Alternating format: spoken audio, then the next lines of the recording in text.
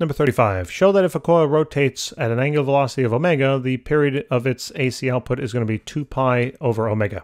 So this is kind of a blast from the past a little bit, right? So we have to remember that the angular, and check out, by the way, circular motion, all right, that chapter, all right? Uh, there's a lot of, uh, these formulas come from that chapter. So the angular velocity is going to be a function of 2 pi multiplied by the frequency. But remember that the frequency is just the inverse of the period, so therefore you can cross multiply this if you wanted, and you can realize that the period is then the inverse of the frequency. But we don't really need it that way because I realize that I can take that and plug it into the frequency.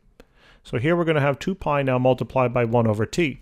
In other words, cleaning this up a little bit, it would be 2 pi over then the period. Uh, now what I want to do is basically we got to show that the period, okay? So we just got to solve this for the period, and look, just do a little boop, just a little boop, and there we go. The period now is equal to 2 pi over the angular velocity.